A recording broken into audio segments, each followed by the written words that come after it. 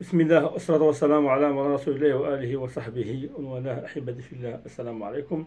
دائما في إطار الإجابة على أسئلة المتابعين اليوم إن شاء الله سأتكلم عن يعني آه تربيع السبحة.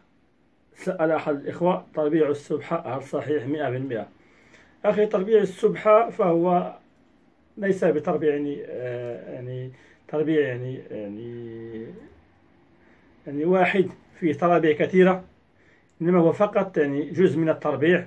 تربيع السبحة ينتمي إلى تربيع الحركة آه، الحركة يعني آه، المتشابهة.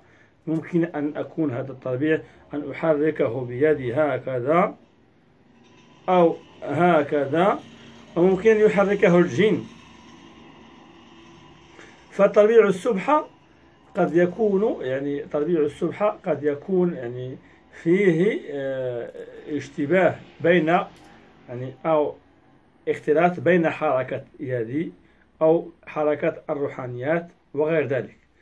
فلا بد من التأكد من هذه الأشياء يعني شخص الذي يستعمل التربيع. هل سبق له أن يعني حدد به مكان معين؟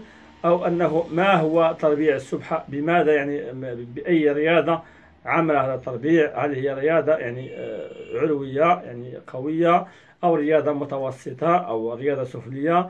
يعني هذه الرياضة تربيع السبحة يعني فيه يعني تشابك وتخارط ليس مثل تربيع آه، تربيع المربع الأحجار أو غير ذلك التربيع الكبيرة أو تربيع القمح الصحيح. إنما تربيع السبحة هناك كثير من الناس يقول إني أعمل تربيع السبحة ويقول سبحة ويقول آية تروح هنا وتروح هنا.